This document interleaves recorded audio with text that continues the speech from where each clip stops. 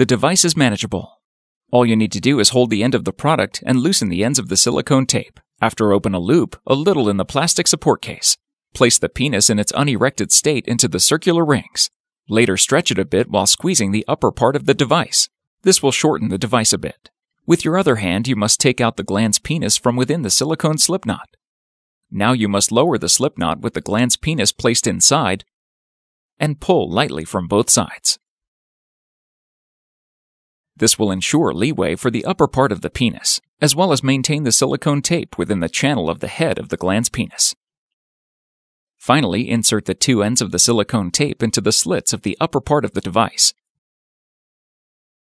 Once the device is in place, you will be able to get dressed and carry out your normal duties of the day.